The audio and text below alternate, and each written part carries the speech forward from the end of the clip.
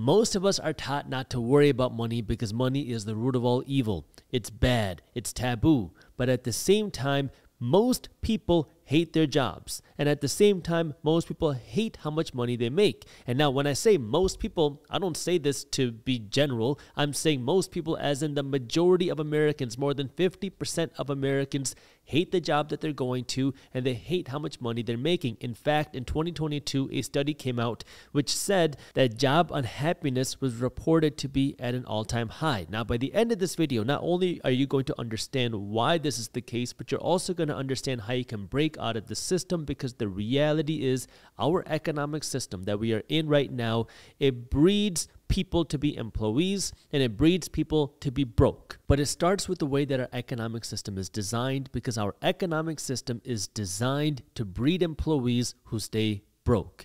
By default, if you do what everybody else does, if you blindly follow the system, you will get a job and you will statistically, more likely than not, be broke. But why is that the case? Well, if we start by looking at the employee side, our educational system and our whole financial system is designed to breed employees. Now, this doesn't mean that it's necessarily a bad thing to be an employee. In fact, not everybody should be an entrepreneur, but you have to understand the way that our educational system is designed. That way, we can get into the deeper stuff. We all go to school to get a degree so we can do what? Not start a business, not invest, not build real financial freedom. It's so we can get a job. Now you might be thinking, but Jaspreet, the goal of getting a good job is so we can be financially free. Sure, but there's a degree of separation there because there's a difference between getting a job and becoming financially free. In fact, that's why some of the most wealthiest people, the most financially free people in our economic system today, are not people who have jobs. It's people who do something completely different. So, our educational system is designed to breed employees. And in this economic system that we're in right now, which is called a capitalist system, there are two ways that you can get paid. You can get paid from your labor, which is the work that you do, or you can get paid from your capital, which is from your money. Now, when you get paid from your labor, this is the job that you do. You go to work to get paid. You go to McDonald's and you flip burgers and you get paid. You go to your accounting firm and you do taxes and you get paid. You go to your medical office because you're a doctor, you do a surgery, and you get paid. You go to work and you do something and you get paid. This is what we are taught to do. This is what our educational system teaches. It teaches us how to get paid from our labor. Now, most of us, myself included, we're only taught that if you want to increase how much wealth you will build, you have to increase how much money you make. And there's some correlation there, but again, there's a degree of separation because what we've seen happen is just because you make more money doesn't mean you're going to be more wealthy because, well, most people make money to buy things. And sure, you can make more money, have a bigger home, have a faster car, have nicer things, but still be broke. This is where now we have to break it down and really understand the difference between financial wealth and the job that you have. Our education system breeds people to earn money from their labor. And again, in this capitalist system, there are two ways to get paid. You can get paid from your labor or you can get paid from your capital. Now, if we focus on the labor side, when you get paid from your labor, you go to work and you get paid, you have one stream of income which relies on you. This is what all of us are taught to do. The problem is, if you cannot go to work, if you break your leg and you cannot perform surgeries anymore, if you want to go on a vacation or if you have to do something and you can no longer get paid, well, that stream of income goes away. And what ends up happening for the majority of Americans is your expenses don't. Your income goes away, but you still have expenses. And this is where so many people get caught up in this, what is known as the rat race, where you're going to work to get paid just to pay your bills. You're not going to work because you love it. You're not going to work to fulfill some passion or purpose. You're going to work to pay bills, period and this is what's normal. And to think that that's not normal is almost taboo now because what are you talking about? To go to work just for passion? How is that passion going to pay the bills? Because you're right. You have to be able to pay the bills. You have to be able to pay down your rent, pay down your mortgage, pay off your credit card, pay off the whatever else you have to pay. But this is where now understanding the system can allow you to understand how you can actually build wealth because in this capitalist system, you can also get paid from your capital. And if you look at the wealthiest people on the planet, they get paid from their capital more than they do their labor. Now, you don't have to be a multi billionaire or even a multi millionaire to take advantage of this, but you have to understand the way that this system works because the reality is you can make way more money with much less effort when you get paid from your capital. But you have to understand this first because nowhere in our education system do we learn how to get paid from our capital. I went through a lot of schooling. I didn't grow up learning about financial education. My parents are traditional Indian immigrants who told me that if I want to become successful in this country, I have to go out and become a doctor. And that is a good way to go for some people. But along the way, I started learning about money. I started learning about investing. And these were things that I had never, I had never learned about before and it was a whole new world. And I also started learning about entrepreneurship, which was a good fit for me. Again, not for everybody, but it was a good fit for me, which is why I kind of changed my path and I had to learn this whole new world of understanding the economic system, understanding money, understanding investing, understanding all these things that I was never exposed to before. But the reality is, if you don't learn these things, if you don't understand how a capitalist system works, you will never be able to win in this system. And I know the whole term capitalist incites a lot of emotions. It makes some people angry. It makes some people very emotional. It makes some people very happy. But at the end of the day, it's not an emotional thing. When I talk about this system, I don't talk from a political or an emotional standpoint. I speak from a very logical and practical standpoint where this is what the system is. And if you don't understand it, you will not be able to win in the system. If you understand it, you will understand how our economic system works, you will understand how money works, and then you will be able to actually capitalize on the system. Now, going back, how do you make money from your capital? Because this is what the wealthiest people do. This is where now you take some of the money that you earn and then you go out and buy assets with them, investments. I'll talk about what these types of investments are in just a little bit, but this is what wealthy people do. And the biggest hurdle that a lot of people make mentally is well, I don't have rich parents. I don't have millions of dollars to invest. I don't have all this money to go out and start buying these assets to become wealthy. And most people don't. Most of us are not born with parents who can give us millions of dollars to start our investing career, to start buying these assets. But you don't need millions of dollars to start. You don't even need $1,000 to start. You don't even need $100 to start thanks to technology, but you have to have the right education and the discipline to get started. That way you can break out of the traditional system because if you can own enough assets where now you're making more money from your investments than you are your job, now you have broken out of the system and you are financially free because you don't need the income from your job to survive. And this is very possible for the average person but it's not possible unless you understand the system. And my goal is not to make friends. My goal is to talk about the system because when I first learned about this, I was so angry. I was in college. I was studying to become a doctor. I was studying to take the medical admission test, medical college admission test. And I started learning about money and investing. And that was when I made my first real dive into the investment space and started learning things and doing things. I made a lot of mistakes, lost money, made money. But that was when I started to learn that the wealthiest people in the world are not people who earn from their labor, it's people who earn from their capital. Because there's no limit to how much you can own, but there's a limit to how much you can do. See, when you're working from your labor side, there's a limit to how many hours a day you can work. There's a limit to how many burgers you can flip. There's a limit to how many surgeries you can do. There's a limit to how many hours you can put in at your job. But there's no limit to how many assets that you can own. And sure, maybe you got to start with $10 or $100 or $1,000 or $10,000 or $100,000, wherever you are today. But you can continually build that up. Because if now you can continually put some money aside, you can start building new streams of income that don't require you to go to work, that will start paying you because you own the right assets. And this is where now it starts with the education of understanding that most people go to work to get paid to buy things. Most people are going to work that way they can buy a bigger home, buy a nicer car, go on fancy vacations. This is what most people, and when I say most people, I don't say this as a general term, I mean statistically, the average person, the majority of people in America are going to work to do this. They're going to work to buy things. Whereas the wealthy and people who aspire to become wealthy, people who think different than the majority of people, or as I like to call it, the minority minded people, people who think differently, it has nothing to do with the way you look, it's the way you think. they're doing something very different. They're going to work not to buy things, they're going to work to buy assets.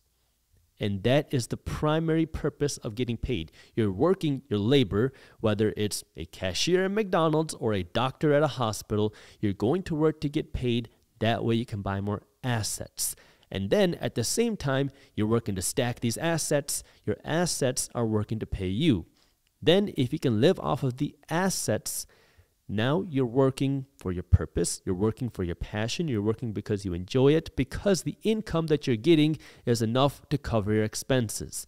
This is how wealthy people are thinking. Now, before I go into how do you invest in all the things that you need to know, I do want to let you know that we have a full ebook on how to start investing. It's completely free that you can also read that goes over how you can make your first investment, different ways that you can invest, and how you can start generating cash flow from investments or what some people like to call passive income. So if you want to read this free ebook, I got the link to Hike and download it for free through our Market Insiders company down in the description below. The most common places and ways that you can invest your money are number one, in the stock market. This is probably the most accessible place to invest your money. Number two, into physical real estate. Number two, three, into businesses. And number four, into your own business idea.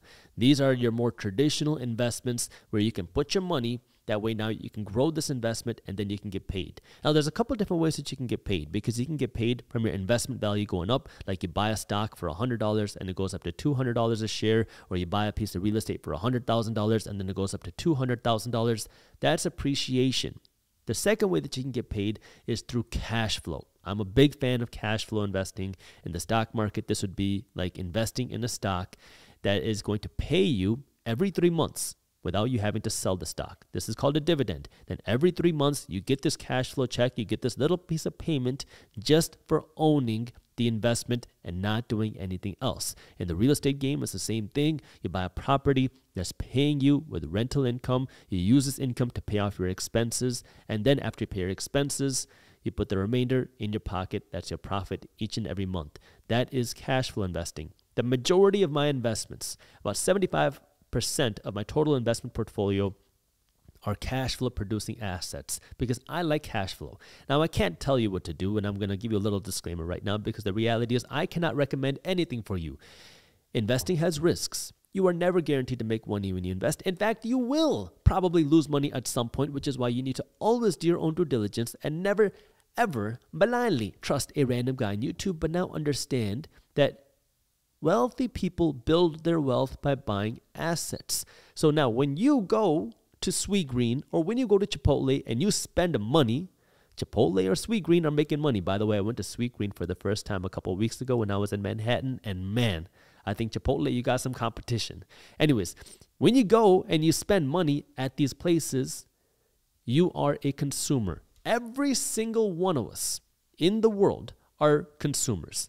Whether you're rich, whether you're poor, whether you're middle class, you are a consumer because you have to buy things. You need a place to live. If you don't own your home, well, then you got to pay rent. Even if you own your home, you got to pay interest on your mortgage. Even if you own your home free and clear, well, you got to pay for your upgrades. You got to pay for your maintenance. You got to pay for the appliances. You got to pay for the furniture. When you go out and you spend money, you are a consumer.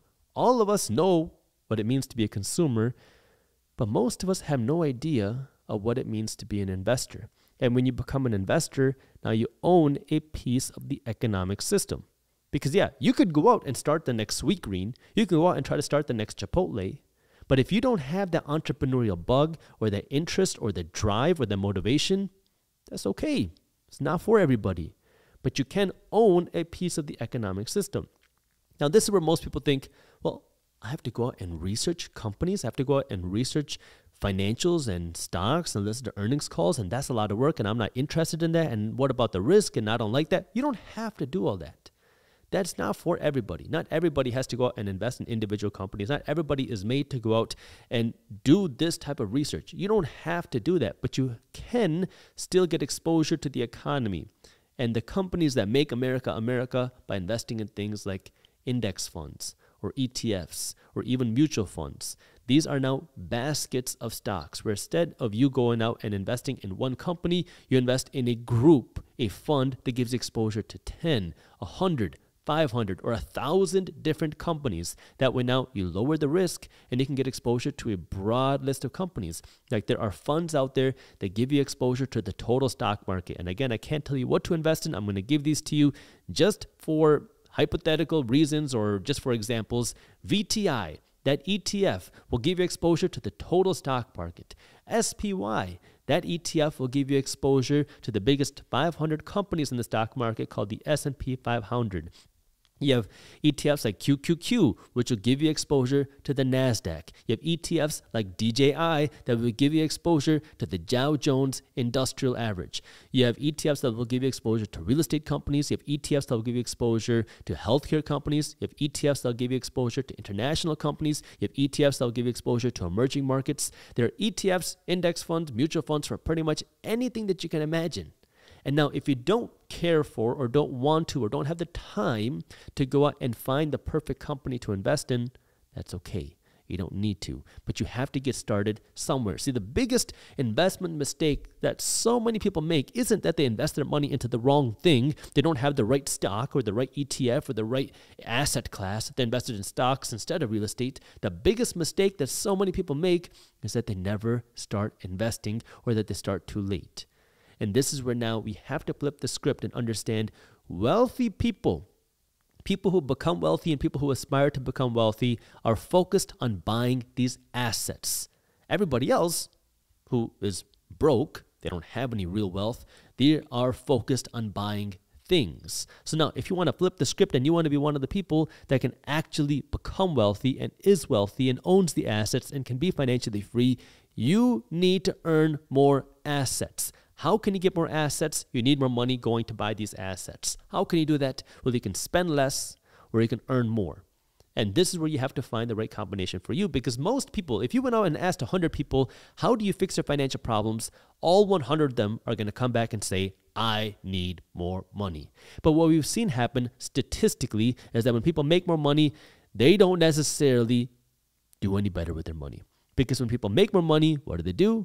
They spend more money because that's what we're taught. If you earn more money without any more financial education, you're going to dig yourself even deeper into a bigger financial hole. That's why the majority of people, statistically, who make six figures a year are also living paycheck to paycheck. They are still broke.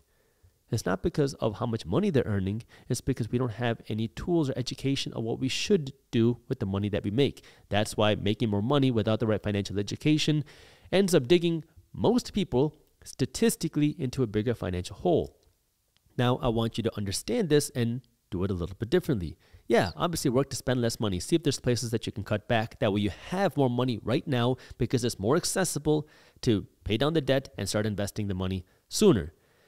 Then, as you start to do that and as you start to understand the system, the next question is how can you earn more money? That way you have more money to actually put into your investments. And this is where now a big question is what happens if I hate my job, but I'm getting paid good? And what about this whole idea of work life balance? How much should I be working?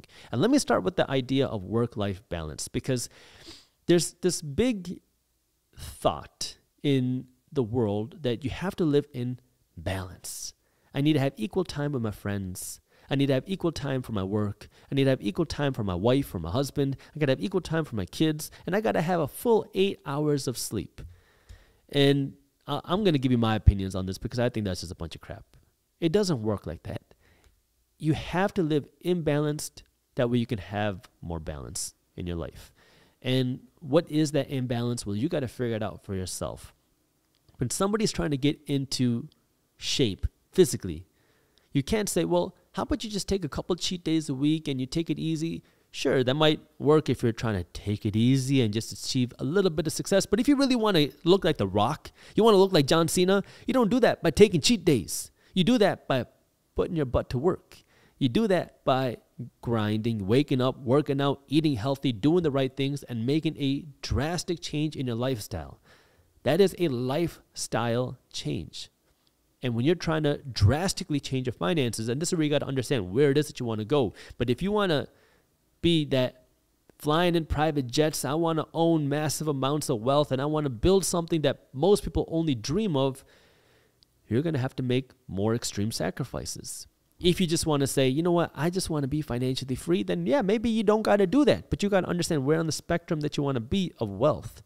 When I was starting off on my financial journey, my financial education journey, my whatever you want to call it, the wealth journey, there was no concept of I need time to have fun or do other things. I had a running joke with all of my friends that I don't go on a vacation unless I'm getting paid to go on vacation. I was working in the wedding industry and the event planning industry. And if a bride and groom were going to hire me to go to the destination wedding somewhere outside of where I was living, then I would go travel because I'm getting paid to go. They're paying for my expenses and they're going to put some money in my pocket to go there. But if I wasn't getting paid to go, I wasn't traveling. I also wasn't eating at restaurants. Sometimes I would go to the restaurant and drink water, but I didn't want to spend any money on anything that wasn't productive or allowing me to do more what I wanted to do. For many years, my number one goal, I was trying to make money in a lot of different places. My only goal was to buy more real estate, period. I was not spending money on my apartment. I wasn't spending money on cars. I wasn't spending money on things, even though I was making good money. I was making uh, over $100,000 a year back when I was in law school, but I spent none of it or very little of it because I wanted to put every penny possible to buy more rental properties. That was my number one goal. And so now you got to figure out where on the goal that you want to be and understand that sometimes you got to live imbalanced. That way you can have more balance in your life. And that imbalance is going to depend on where you are in your life. Do you have kids? Are you married? Are you single? How old are you? What are your financial responsibilities? Do you have financial responsibilities? If you have a lot of financial responsibilities, can you do something else that way you have more money coming in to allow you to, to have more money to invest? This is where now you got to figure out and understand that you have to live imbalanced to have more balance in your life. The next question is, well, I hate my job. I don't like what I do. I want to go follow my purpose. Sounds great in theory, and sure, it's possible but what should you do at the moment? Well, the next question is Do you have the entrepreneurial bug? Can you do something that will allow you to earn money while doing something that you love? If no, and you have all these financial obligations, stick it out for a little while and get your finances in order.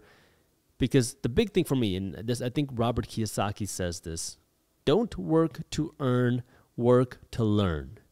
And that works very well when you have the entrepreneurial bug because now you're learning to do something that way you can build something on your own but if you do not want to go out and start something and create your own income and you want to stay long term at a job and you're thinking about just going from a job that pays you $95,000 a year to $45,000 a year because it'll help you follow your passion and you want to build wealth and you have no idea of how you're going to retire and you have no other financial cushion, this is where right now you got to suck it up, continue going to work. That way you have more of a financial base because the reality is the money you make from your job isn't very important when you have the assets.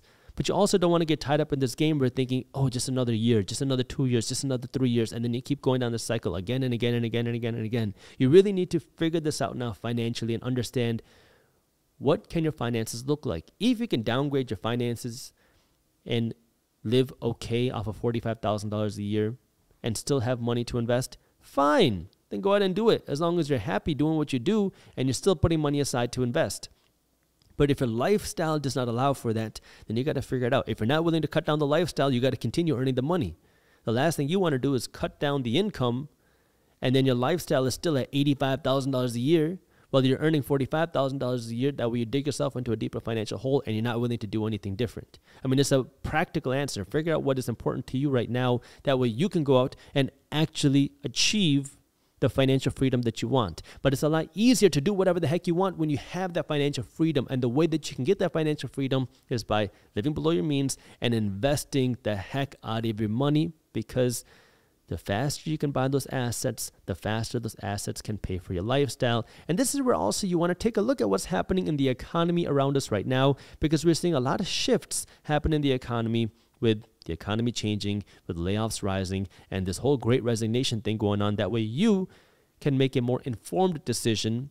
That way you don't fall into the traps and end up going to a new job where then you get laid off and now you're financially stuck because you can't get an income, but your expenses keep rising. Our job market is going through a very interesting transition right now. For one, we are seeing employers ask their employees or actually demand their employees to come back into the office. Second, we're seeing companies have to be more productive now, meaning they have to cut back on costs, meaning they're doing more layoffs. And third, we've seen the Federal Reserve Bank make it clear that they want to cool down the economy to bring inflation down with higher interest rates, which will result in more layoffs. And even the Federal Reserve Bank has announced that they anticipate a slower economy within the next 12 months. In fact, the Federal Reserve Bank most recently in April came out and said in their report that they're finally announcing that they believe that we will enter a recession by the end of 2023. So, what does this mean now for your job if you're thinking about changing jobs and what's going on with the great resignation? Because the reality is, if we just follow the Federal Reserve Bank's baseline approach, where right now they expect unemployment to go up to 4.5%. This is according to the Federal Reserve Bank data. That would mean that by the end of 2023, we would see about 2 million Americans lose their job. Now, at the same time, we're seeing a lot of shifts happen just in the general, let's call it company culture. Because after the pandemic hit, nobody was going into the office to work. The economy was shut down, and people were scared about the whole pandemic. And so people were forced to work from home, which for some people was great. And for some companies, it was great, but for some people, it wasn't. But for the first time, we saw this ability where people could actually work from home and everyone talked about how this was amazing and it was going to change the workforce. Now, here we are in 2023, and you're starting to see that shift where more and more employers are asking or demanding their employees to come back into the office. And I can tell you from a realtor perspective, because I'm a licensed realtor, I don't work as a licensed realtor, but I know a lot of realtors because I'm uh, pretty involved in the real estate space and I've worked in that space before. And at least here in Michigan, what we're starting to see happen is more and more employers are coming back into the offices, and office vacancies here are coming down quite a bit. Now, I know in other places like Manhattan, you still have very high office vacancies. But from what I've seen, more and more employers are asking people to come back because they found it to be more productive in the office. And not to mention that when you have a city where restaurants rely on people going to work and having business meetings for lunch. And we have all those little shops that rely on people walking around after work, before work, or during lunch to survive. And many of them have been hurting. You have a lot of pressure from cities and governments telling companies to get their employees back into the office because if they come back into the office, well, that will help the restaurant business. That would help a lot of the other smaller businesses which are struggling. Not only are they struggling to get the sales in these cities because people aren't working like they were, but they're also struggling to find staff. Which is a very strange thing going on right now because, on one hand, we have the super low unemployment rate. On the other hand, people are not happy at their jobs. On the third hand, people feel like they're not fulfilled at their jobs. And then, fourth, people feel like they're not making enough money. And this is a very strange thing that we're in right now because we still have high inflation. Interest rates are rising, and it seems like they're going to have to go up higher because inflation hasn't come down fast enough or far enough for the Federal Reserve Bank to justify no more interest rate hikes. And there's going to be a cost for the higher interest rates. That cost is going to be an economic slowdown. Because the reason why the Federal Reserve Bank has to raise interest rates, and we did a number of full deep dives on the entire great resignation and interest rates and how this is all going to play out in market briefs. If you haven't joined market briefs yet, this is my free financial newsletter where every day my team is breaking down what's happening in things like inflation, the economy, the housing market, the stock market into a fun, witty, and easy to read email. You can read this email in less than five minutes every morning, and it's completely free. So if you haven't joined Market Briefs yet, I'll put the link to how you can join my free newsletter down in the description below. But this is where now we have a lot of interesting things happening because inflation is already slowing down the economy. See, our economy runs on spending. The more money you spend at Chipotle, the more money Chipotle makes. The more money you spend at Sweetgreens, the more money Sweetgreens makes. The more money that Chipotle and Sweet Sweetgreen makes, the more money that they have to go out and open more stores, invest in better products, improve their technology, which means more employees. But because there's high inflation, naturally some people have had to cut back on spending. We also did a poll in market briefs where we discussed this. And the reality is people have been forced to cut back because the cost of things have been rising, and naturally, people's wages haven't risen fast enough to keep up with inflation. Then, at the same time, the Federal Reserve Bank is raising interest rates to bring inflation down. This higher interest rates have a cost. Now, I've talked about this a lot of times here, but the higher interest rates have a cost because, well, most debt, most corporate debt, most national debt is not a fixed rate debt. These are variable rates, meaning every three years, every five years, every so often, the interest rate will readjust. And there was a study that came out and said that I think it was 50% of all commercial real estate debt and corporate debt, something like that, it was around 50%, is set to readjust in the next 24 months. So we're talking about hundreds of billions, if not a trillion dollars worth of debt that is going to be readjusting with the higher interest rates, which means that these commercial landlords who own these office properties that are sitting vacant are going to get a huge wake up call because when the interest rate readjusts, their expenses are going to skyrocket because it's not like interest rates went up slightly in the last few years. They went up very drastically in the last few years. And so when a commercial landlord goes to the bank and says, hey, my interest rate's readjusting, we need to readjust the loan, and then their payments double, they're going to need a lot more money in order to justify those payments. And if they're not occupied, they're going to have a tough time paying that, which is going to create a big shakeup in the commercial real estate market in the coming years, unless we see a big change happen, which is why you've been seeing a lot of pressure from landlords to get tenants back into the offices. And then, on the other hand, corporations have a very similar struggle because corporations have also loaded up on debt over the last few years. This debt was loaded up at a very low interest rate, and corporate debt, business debt, is not a 30 year fixed rate mortgage. It readjusts every few years. And in the next 24 months, as more and more of these billions and billions of dollars with the corporate debts readjust, you're going to see corporations see their expenses rise. And at the same time, we've been seeing the economy struggle just because of the high inflation. And so now, if you're a corporation and your expenses are rising, what do you do? Well, you're going to have to make more money to cover the higher expenses. And how do you do that? Well, you need more productivity. How do you do that? We need people to do more. How do you do that? Well, this is again going back to what we've been talking about why so many corporations have been asking and demanding employees to come back into the office because it's a way to get people to brainstorm more, work better together. Now, of course, this doesn't work for everybody some people, there are some people out there that work better working from home because now when you're working from home, you can go to the gym in the middle of the day and you're willing to work till 10 or 11 p.m. because it provides you with more flexible schedules. You don't have to commute in the car for 40 minutes in the morning and 40 minutes in the evening. And you don't have to worry about having those, let's call them silly conversations when you go to the bathroom with your coworkers and do all that kind of corporate politics stuff that you're not a fan of. And so you have some people that are like that, some people that need the office environment, and then you have everybody in the middle. And this is where corporations are going to be. We're seeing more corporations try to figure out that happy medium or balance where it's not a fully remote lifestyle, it's not a fully in the office lifestyle, but somewhere in the middle. And that right balance is going to change from corporation to corporation. We've seen some banks say, nope, you got to come into the office every single day and be here from morning to night, like it used to be. You have other companies saying, all right, well, how about we come into the office one day a week? And other companies that are saying three days a week. And we're going to see more and more of this progress. And we're going to see a very big change in the office environment. But my whole point of saying this now is if you're thinking about changing jobs or doing something different, understand also where we are in the economy. Because the great resignation was a big thing over the last few years. Then there was this whole movement of quiet quitting.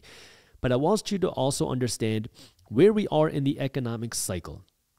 Because right now, we have a lot of red flags in our economy. Even the Federal Reserve Bank now has come out publicly and said that their base case is that we're going to be in a recession within the next 12 months. That is the base case by the Federal Reserve Bank or central bank here in the United States. And their base case is that 2 million Americans are going to lose their jobs. Again, this is directly from the Federal Reserve Bank data. This is not me just saying theory. I'm telling you what our central bank in the United States is saying. If this is our base case, you need to understand what's going on before you potentially do something that you might regret. And so if you're working for a company and and you are let's say at the bottom end of the performers and the company runs into financial troubles or they need to cut costs, who are they going to let go first? It's not going to be the top performers, it's going to be the people that are the bottom performers. And so this is a time for you to really just understand what's happening. That way you can make sure you take care of your financial future. And especially if you don't have the assets to take care of you. Because again, if you want to become wealthy, that wealth is not going to be built through your income, whether you're making $40,000 a year or $400,000 a year. That wealth is built through what you do with your income. Because if you're using your income to buy fast cars and nice homes, you are product rich, but not actually rich. But if you're using your income to buy assets, stocks, real estate, businesses, whatever it might be, now it's completely different. Because now, well, if you have enough assets and you lose your job and it's not going to affect you, then sure, you have a lot more freedom and flexibility to do whatever it is that you want. But if you need that income, that way you can support your family, that way you can support your own finances and whatever it is that you have to do, you have to understand what's happening in the economy before you make big decisions because the last thing you want to see happen is you change jobs from a good company to a bad company and then that company starts letting go of the recent hires because of economic struggles and then you know you know where I'm going with this. So this is where all I'm saying is understand what's happening around you. That way you can make smarter decisions. That way you don't get screwed over by the system. Because the reality is, look, quiet quitting sounds fun. I don't want to do more than what I'm asked for. But the reality is, listen, if you want to exceed in life, you cannot have a I'm going to do a just show up attitude. The people that win are the people that have excelling mindsets. People who say, I'm going to do the best job no matter what I do. And maybe that means you got to find a different career, something that gives you more purpose, something that allows you to do something that you love, that way you can actually excel in it. But couple that with what's happening in the economy, that way you can make smarter decisions financially. But at the end of the day, you got to earn money to do one thing you got to earn money to buy assets. And the reason why so many people feel stuck in their jobs is because they're using their money to buy liabilities. They're using their money to buy cars, vacations, nice homes, and other fancy things which rack up your bills. And then you feel stuck because you have to keep working because you got bills to pay. And you don't have money to invest because you got bills to pay. And now you get stuck into the cycle where you keep working harder because now you're thinking, man, if I just got a little bit of a raise, if I got a $10,000 raise, man, my life is going to feel so much more free. I'll be able to build up my savings. I'll be able to do the nice things. And then you finally get that raise that you've been working for. But then your car lease comes due. And then you decide to upgrade to a nicer BMW because, well, you just got a new raise. And then you say, well, it's been so long since we've been on a vacation. So then you book a trip to Cancun. And now all of a sudden your raise doesn't do anything different for your finances. So this is where, yeah, obviously understand what's happening in the markets, but also understand how to use your money. That way you can build your wealth instead of making everybody else around you rich because the more you spend, the more money somebody else makes. And your duty right now isn't to stimulate the economic system, it is to stimulate your own wealth, which means you need to be using your money to build your wealth. And once you do that, none of this other stuff matters. You're much freer and you're not subservient to a boss or anything else in the system because now you own the assets. But the only way that you can do it is if you use your income from your labor right now, you use your paycheck to buy more assets. And it's hard, it's going to take time.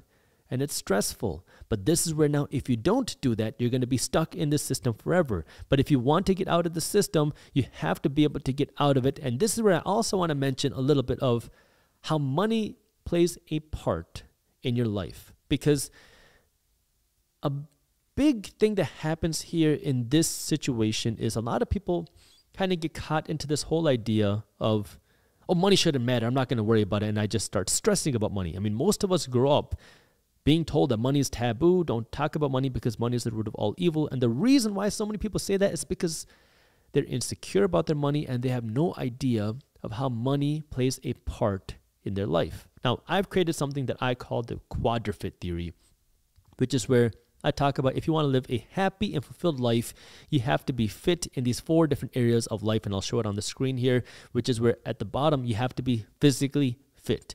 Meaning, if you're on your deathbed, if you can't breathe, if you're unhealthy, the only thing that you want is to be healthy again. You know, there's a saying that a healthy person can have a thousand wishes, but an unhealthy person only wants one wish, which is to be happy and healthy again. The second thing is you have to be mentally fit. And we're in a time where people are finally starting to learn a little bit more about mental health. And the reality is, if you're surrounded in a toxic environment, people that are not supporting you, a spouse that is very toxic and you're unhappy, you're miserable, you're depressed, you're anxious, you have to address this. And there are a lot of people, I know people, and I'm sure you do too, who believe strongly that more money will fix this problem. If you have a million dollars, you'll be able to find the love of your life. Your friends will like you more. You'll be able to do more things and you will feel loved and you will feel happy. And this is why so many people then start chasing money for all the wrong reasons. They get the money sometimes and then they end up even more depressed and more miserable than before because then they realized with a very painful reality check that more money is not going to fix the mental issues that they have in their lives, which is why you have to take care of this mental issue by itself. Whether it's getting therapy, listening to the right podcast, starting to exercise, doing the meditations, doing whatever it is it might be to allow you to find the happiness in your own life and getting out of the toxic environments. And then you have to be spiritually fit. And this does not mean religious. When I say spiritually fit, I mean having your sense of purpose.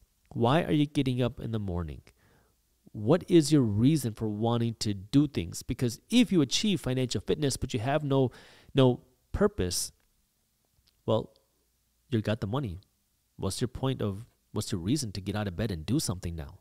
And you have to have that purpose. And most people start thinking about this way too late because they think, oh, I'm just going to keep working to get paid. I got to keep working to pay the bills. And then one day maybe you retire. One day you finally have that financial freedom. And then all of a sudden, you don't know what to do with your life. You're bored, you're miserable, you don't have a purpose, and you have to work on defining what is a sense of purpose that we have a reason to get out of bed every morning. And then you have the financial fitness. This, at the top of the quadrant triangle, is where money starts to play a part in your life because now when you're fit spiritually, mentally, and physically, this is where more money can allow you to accelerate what you do in your life because more money just allows you to do more of the things that you love.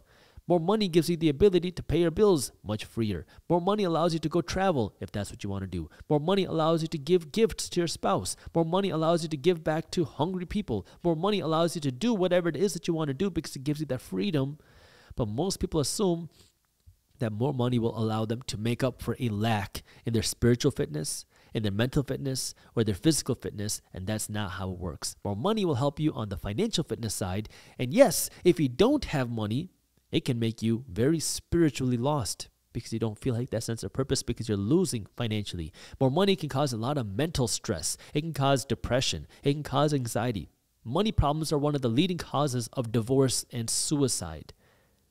And more money or not having money can also cause a lot of physical issues because now you don't have the ability to eat healthy, you don't have the ability to exercise, you don't have the ability to do these things. But now understanding that you have to get financially fit, don't listen to people who say that money doesn't matter, but also not obsess over money to the point where you lose sight over the other parts of life that actually will allow you to live a happy and fulfilled life because the goal is to live a happy life, not just be rich.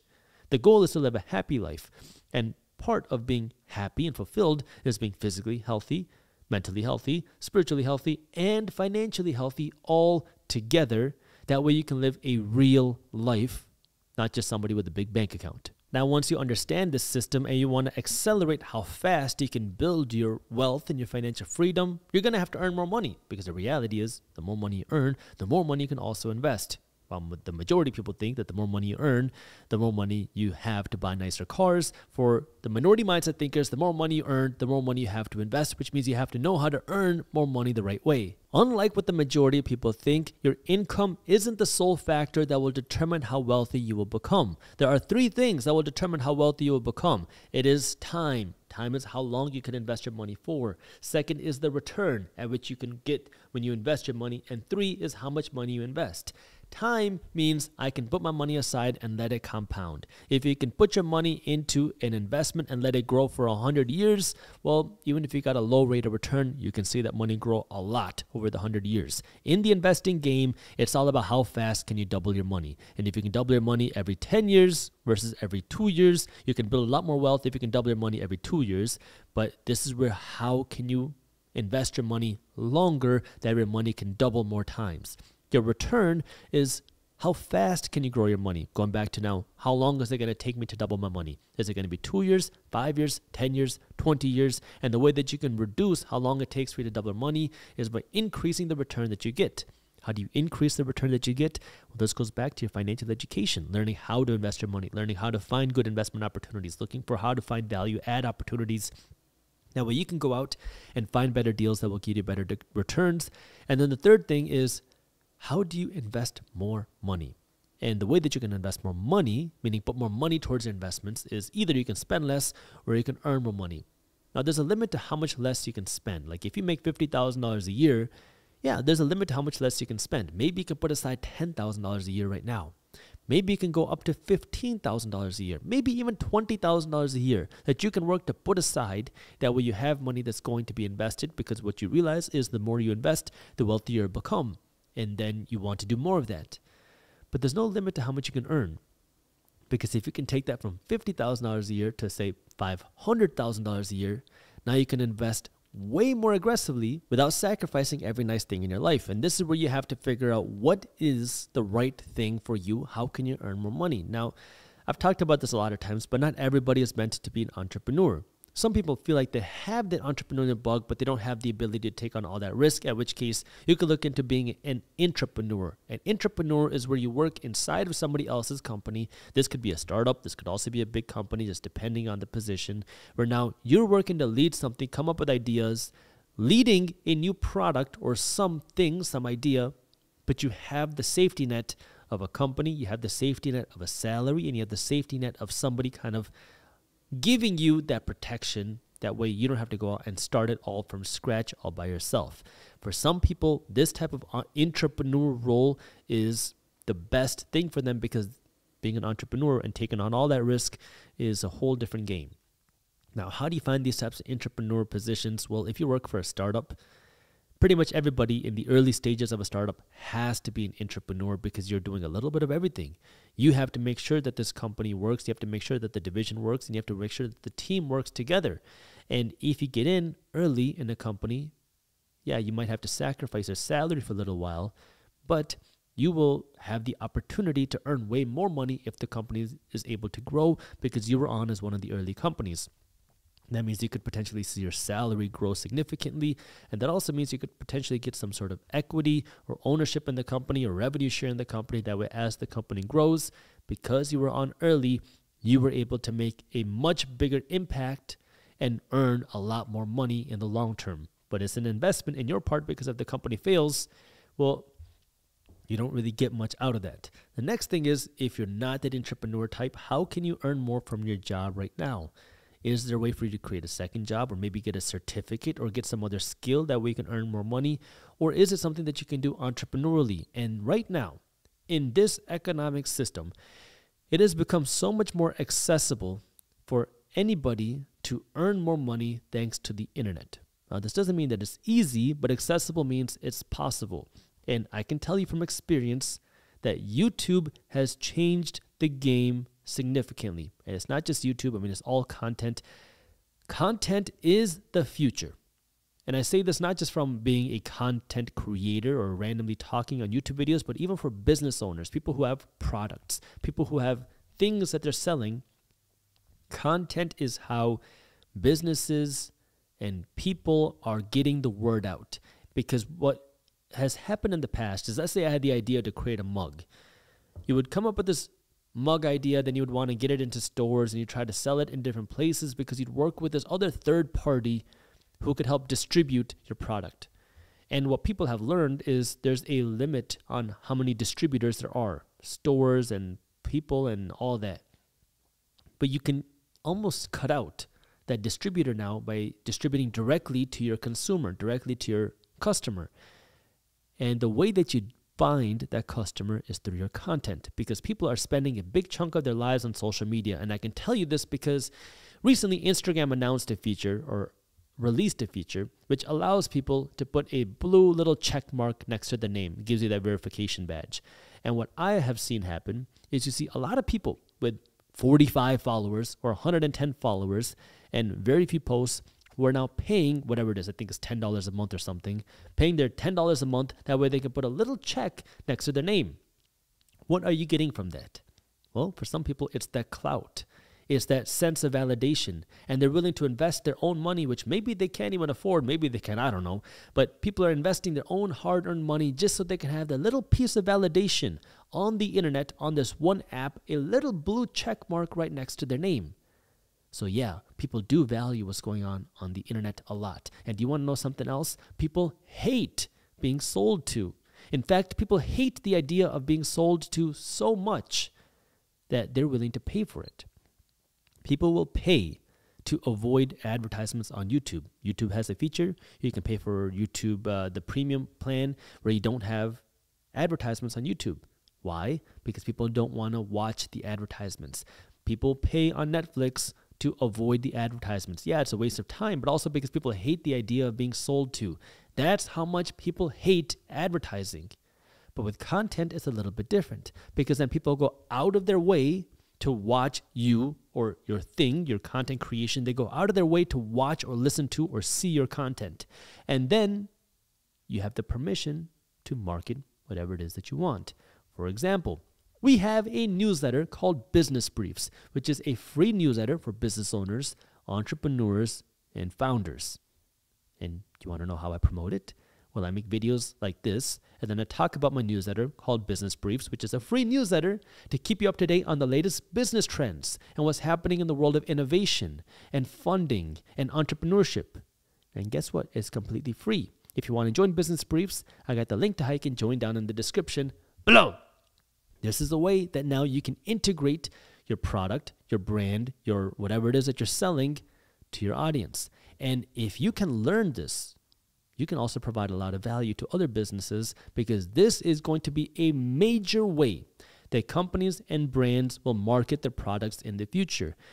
Because 10 years ago, we started to first see the shift where you started to see media happen outside of TV. 10 years ago, back in 2013, people got their media still only from TV. Yeah, YouTube was coming up a little bit and there were some things happening online, but it was not that significant. Over the last five years, we have seen a major boom, especially after the pandemic, of people consuming their content from the internet. Whether it's YouTube, whether it's Instagram, whether it's Twitter, whether it's Reddit, people are consuming way more online now than they were five years ago. And this trend is not slowing down. People don't go on to watch TV or the news on TV, they're finding the news and information from other places. And it's the same way that they're learning about their favorite products. Now, before, when a company had a product or something they wanted to sell, they would try to find a celebrity and pay them. They said, oh, we can just sponsor somebody and have them promote our product, which was a way that worked. But now, as sponsor rates and advertising rates are going up, companies, more and more companies are saying, we're going to want to do some of this ourselves as well, which is why now you're going to see, and we are starting to see some of the biggest brands in the world, and more and more brands around the world come onto the internet. At first, it was coming onto the internet to be able to sell their products on the internet. That was like 10 years ago when companies were like, okay, maybe we should get into this whole e commerce thing and sell things online because it looks like Amazon is right that we need to sell things online. Now, the next decade, it's going to be okay, maybe we need to get into this content creation business because people love watching content on the internet, and every company is going to want to have some sort of media division in their company because media is how you get people to hear about you. And this media is no longer running advertisements on TV, this media is creating your own content. And this is one of those things that you can't learn this in school because by the time the teacher learns it and then teaches you in that semester, everything will change by the end of that semester. And one of the best ways for you to learn this is by doing it yourself. And by doing it yourself, you can either try to monetize it yourself by being an affiliate for other companies. You can get sponsorships and advertising revenue, or you can sell your own product. And your product could be things like physical mugs, it could be education, it could be some sort of service that you have to offer, it could be whatever other product that you have. Or you can also monetize by saying, you know what?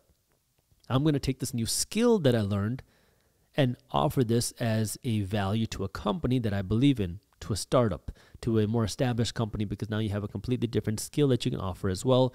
Because the reality is, this is where the world is going.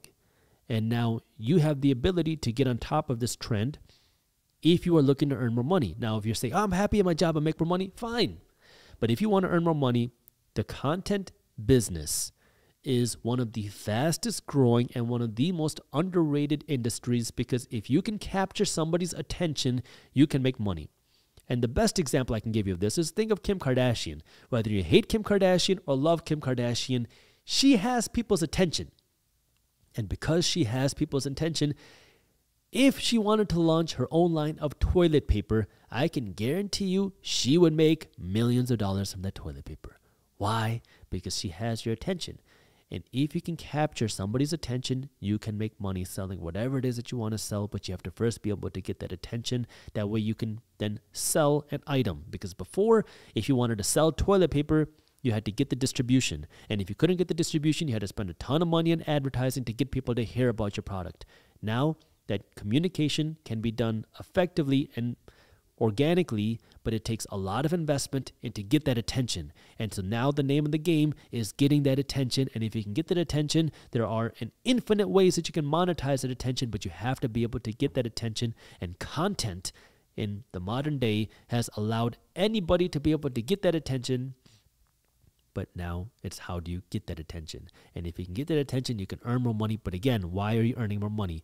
You're earning more money not just so you can buy a faster car, but so you can buy more investments.